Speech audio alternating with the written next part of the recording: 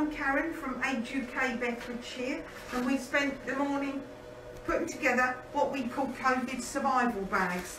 These are bags of donated goods from ourselves, from Morrison's and various places. Things like orange juice, toilet roll, porridge, tea bags, um, some biscuits, some soup and all, all manner of lovely things that have been donated. Um, we've already distributed about 50 in last week. We've got another 24 here today. And also you'll get um, our lovely leaflet and booklet about how to avoid scams while you're self-isolating at home. And also our voice magazine, which is full of lovely information, hints and tips, jokes, and just general sort of things that you can read to keep you occupied.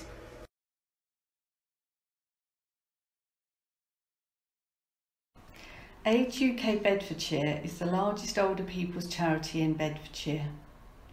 We are here to help anyone over 50 who resides in the county or to assist the family, carers or friends of those residents who need our assistance. This year has been one of the most challenging that we have faced, but thanks to our brilliant team of staff and volunteers who have worked tirelessly throughout this period, we have been able to ensure that all our services have been available to everyone who has needed them. Our phone and email have been manned as usual and we have continued to provide our practical services in and around the home wherever it has been possible.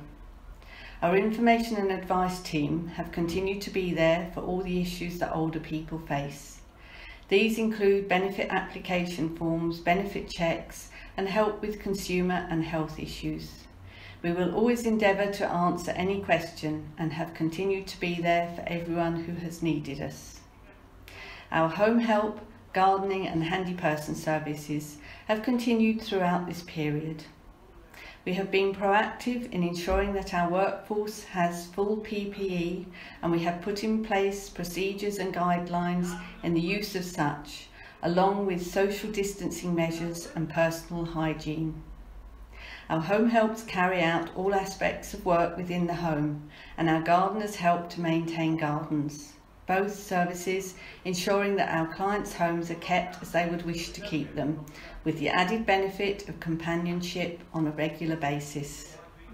We have had many phone calls over the period from clients and families to thank us for continuing to provide home helps and gardeners. These everyday services are a lifeline to our clients and to some extent their families.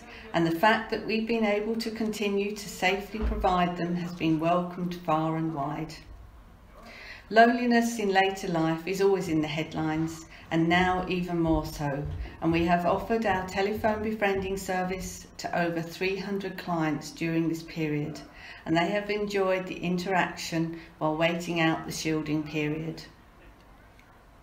We're now operating a COVID champion project whereby we are supporting those vulnerable and extremely vulnerable shielding cohort to understand the ever-changing government guidelines.